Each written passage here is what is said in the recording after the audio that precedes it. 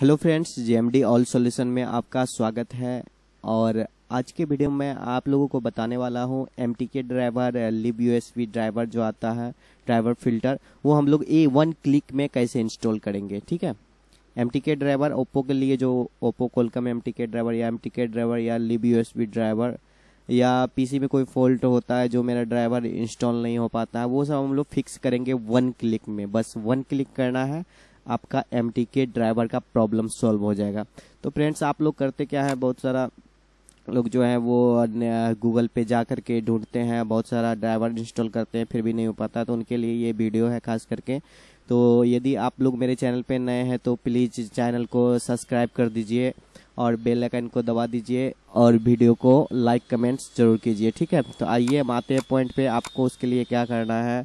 उसके लिए आपको करना क्या है, मैं दिखा रहा हूँ।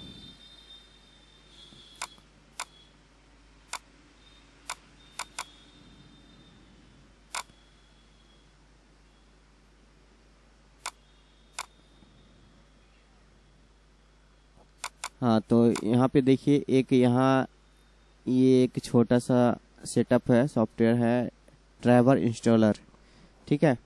ये आपको दिख रहा होगा। आपको इसे ओपन करना है।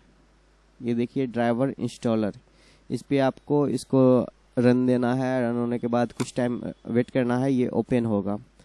ठीक है? ये देख लीजिए ड्राइवर इंस्टॉलर इसको ओपन करना है और इसका लिंक मैं आपको वीडियो के डिस्क्रिप्शन बॉक्स में दे दूँगा।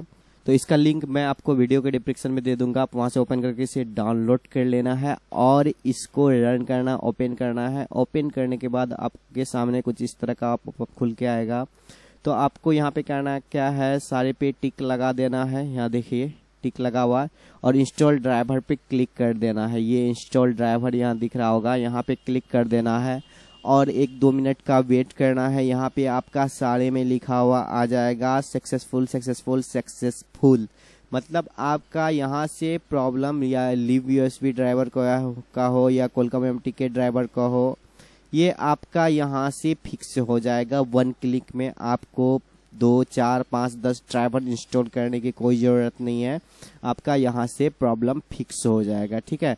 तो आपको समझ में आ गया होगा, आपको ये ड्राइवर यहाँ दिख रहा है, ये सॉफ्टवेयर ओपन करना है, यहाँ से सारे में टिक लगा के यहाँ से इंस्टॉल ड्राइवर पे क्लिक कर देना है।